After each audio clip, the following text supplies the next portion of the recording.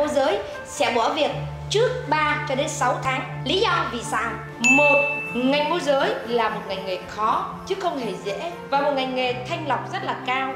Nếu như bạn không bán hàng được trong thời gian 3 tháng thì gần như công ty cũng sẽ có những cảnh báo đối với bạn hoặc thậm chí các bạn mới các bạn cũng sẽ không có đủ thu nhập để chi trả cho chi phí sinh hoạt hàng ngày của mình dẫn đến các bạn sẽ bỏ nghề và tìm một công việc khác ngành nghề bất động sản, các bạn vào một cách ngẫu nhiên, không được đào tạo một cách bài bản. Các bạn không biết nên bắt đầu từ đâu để chuẩn chỉnh, không biết làm như thế nào để các bạn có thêm được khách hàng, làm sao chốt được một khách hàng, đeo bám khách hàng hoặc là chăm sóc khách hàng một cách tốt hơn. Chính vì như vậy cho nên bạn cũng sẽ không có được giao dịch. Và không có được giao dịch thì miễn nhiên bạn sẽ nghỉ nghề này sớm thôi. Ba, một số các công ty bất động sản, họ sẽ bỏ rơi bạn họ sẽ không có những người để đồng hành với bạn và bạn sẽ tự sinh tự diệt cho việc này. Nếu như may mắn bạn bán được hàng thì bạn sẽ vượt qua được khó khăn. Tuy nhiên đa phần các bạn sẽ không vượt qua được giai đoạn này. Các bạn sẽ cảm thấy bơ vơ và lúc đó bạn sẽ từ bỏ. Bạn sẽ nói mình không làm được nghề này đâu. Khó lắm và cuối cùng bạn cũng sẽ bỏ nghề này.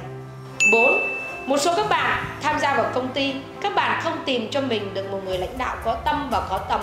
Thậm chí đó là nhiều bạn làm quản lý, nhưng mà các bạn ấy cũng không quan tâm đến nhân sự của mình. Thậm chí, chính những người đó cũng không có kỹ năng để đào tạo là người khác.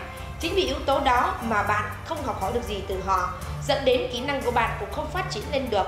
Và bạn cũng sẽ cảm thấy nghề này khó và bạn sẽ rời bỏ nghề này sớm thôi. Số 5 đó là công ty của bạn lựa chọn không đủ một cái lượng hàng lớn để cho bạn bán hàng, hoặc thậm chí họ không đủ tầm nhìn để giúp cho bạn xây dựng được một sự nghiệp ở đó làm cho bạn cảm thấy luôn bế tắc trong việc nguồn hàng, nguồn khách và bạn không biết làm sao để chuyển biến được những giao dịch.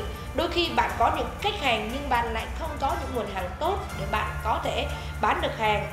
Chính vì những yếu tố đó mà bạn rất dễ để rời bỏ với ngành nghề này. Lời khuyên của Tara đó là bạn hãy xem video tiếp để chúng ta có nhiều lối thoát cho ngành nghề này giúp cho bạn trở nên chuyên nghiệp hóa hơn và tiến đến con đường triệu phú đô la từ ngành nghề môi giới bất động sản nhé.